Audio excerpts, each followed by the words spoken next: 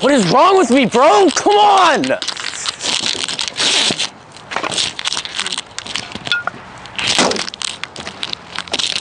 Flush it routine.